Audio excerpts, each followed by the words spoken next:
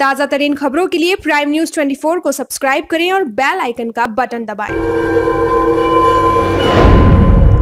नमस्कार, मैं खुशबू और आप देख रहे हैं प्राइम न्यूज़ 24 जहाँ एक तरफ़ पूरे देश में कोरोना महामारी जैसी बीमारी से बचने के लिए प्रशासन के द्वारा बार बार लोगों को हिदायत दी जा रही है कि बिना काम से घर से बाहर ना निकलें अगर कोई भी घर से बाहर निकलता है तो उसको मास्क लगाकर घर से निकलना चाहिए। वहीं दूसरी ओर जिला गुरदासपुर के बटाला में पंजाब पुलिस द्वारा आने जाने वाले लोग जो बिना मास्क के घर से बाहर निकले थे और साथ में जिस गाड़ी या मोटरसाइकिल से आए थे, उसके अधूरे कागजात होने के कारण पुलिस द्वारा सख्ती से ड्यूटी निभाते हुए उनके चलान भी काटे गए।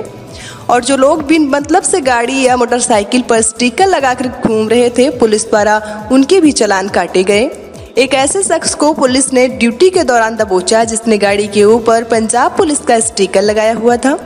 और शहर में घूम रहा था। जब उसको सख्ती से पूछा गया तो उसने बताया कि उसका पंजाब पुलिस में पिता जलंधर में ड्यूटी करता है और सिर्फ़ गाड़ी पर जो स्टिकर लगाया है, पुलिस से बचने के लिए लगाया है।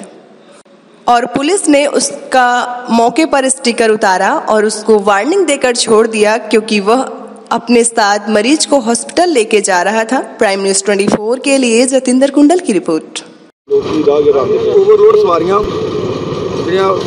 ਚਾਰ ਸਵਾਰੀ ਤੋਂ ਵੱਧ ਸਵਾਰੀਆਂ ਭਾਲੀਆਂ ਕਿਸੇ ਨੇ ਜਾਂ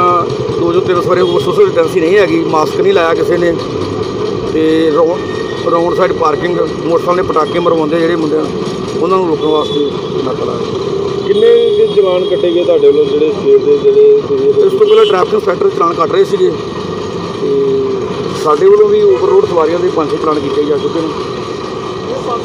ਇੱਕ ਜਿਹੜੇ ਹੁਣੇ ਤੁਸੀਂ ਇੱਕ ਗੱਡੀ ਨੂੰ ਰੋਕਿਆ ਸੀ ਜਿਹੜੀ ਗੱਡੀ ਦੇ ਸਟicker ਲੱਗਾ ਸੀ ਪੰਜਾਬ ਪੁਲਿਸ ਦਾ ਤੁਹਾਡੇ ਵੱਲੋਂ ਲਵਾਇਆ ਗਿਆ। ਉਹ ਪੰਜਾਬ ਪੁਲਿਸ ਦੇ ਹੈਗਾ ਸੀ ਲੜਕਾ ਕਿ ਜਾਂ ਉਹਨੇ ਵੈਸੇ ਹੀ ਲਗਾਇਆ ਸੀ? ਉਸ ਲੜਕੇ ਉਹ ਜਿਹੜਾ ਡਰਾਈਵ ਗੱਡੀ ਚਲਾ ਰਿਹਾ ਸੀਗਾ ਉਹ ਕੋਈ ਹਾਰਟ ਪੇਸ਼ੈਂਟ ਲੈ ਕੇ ਆ ਰਿਹਾ ਸੀਗਾ ਤੇ ਉਹਨੂੰ ਰੋਕਿਆ ਵੀ ਕੀ ਹੈ ਕਹਿੰਦਾ ਵੀ ਮੇਰੇ ਫਾਦਰ ਪੁਲਿਸ ਨੇ